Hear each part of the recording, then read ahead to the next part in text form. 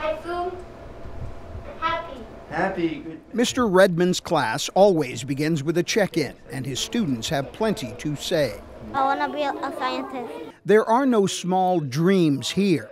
Once a week, every student at Baker Elementary visits the Smart Lab to collaborate on new ideas, design original objects, and build structures. They study science too. If you're not exposed to something, you can't, don't think you have the opportunity to do it. You build yourself a glass ceiling. And once you're exposed, you feel comfortable. So when they go into middle school, they said, Yes, I've built something. There's a sign on the building that says Campos EPC, which is an engineering and construction firm based in Denver, Colorado.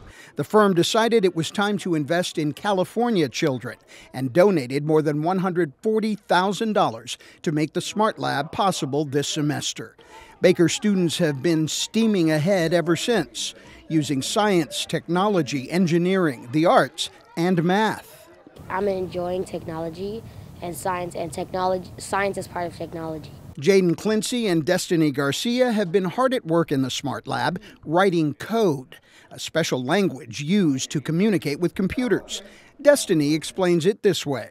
If you were coding Jaden, we would say to move that way, which is right. Yeah, right. And then, so then he would take a step right.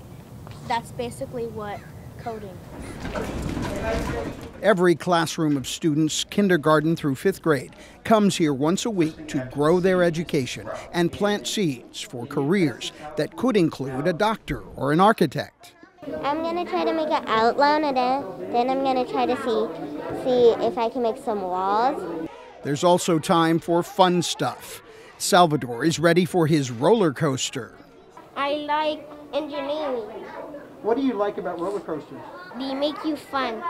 While corporate money paid for the computers and learning resources, families of these students and the children themselves also made investments in their futures. 35 to 40 percent gave whether it was a dollar, five dollars, ten dollars, twenty dollars. I have kids coming in here with pennies in an envelope. These kids are just amazing.